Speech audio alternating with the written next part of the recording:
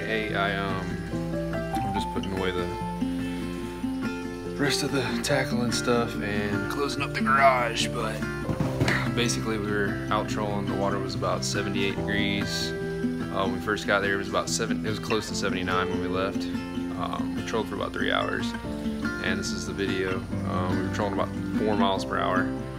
Um, when we were going into the waves, we were going about four and a half to kind of keep up with uh, going slow.